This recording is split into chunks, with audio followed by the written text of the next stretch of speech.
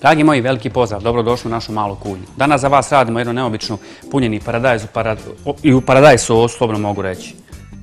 Tu imamo dva paradajza koje smo izbušili, izvadili sredinu i njih ćemo puniti.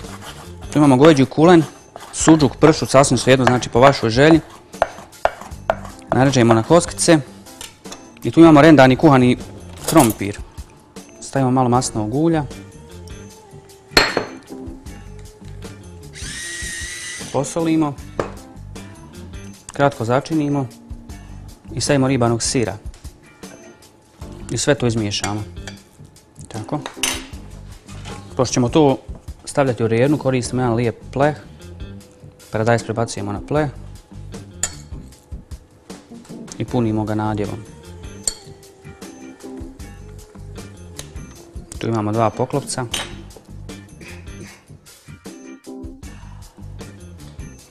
Koja vraćamo na paradajz. Stavimo još malo masnovog ulja. I može da ide u redu. Tako. Dragi moji, vraćamo se našim gratiniranim punjenom paradajzu.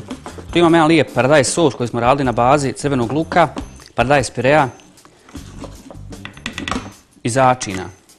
Paradajz sos stavljamo na srednju tanjura. Tako, kad lijepu podlogu.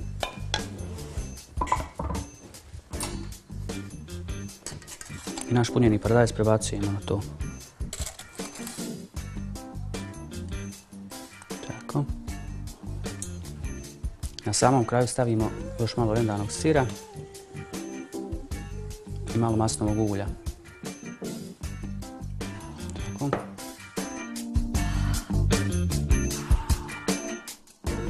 Dragi moji, to bi bilo sve za danas. Hvala lijepo i do kuhanja.